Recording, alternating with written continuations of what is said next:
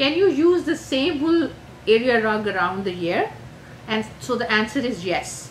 You do not most of these rugs are so heavy you do not want to put it on during summer and take it out during winter or vice versa. You keep it the whole year nothing happens to them. Again they're very resilient.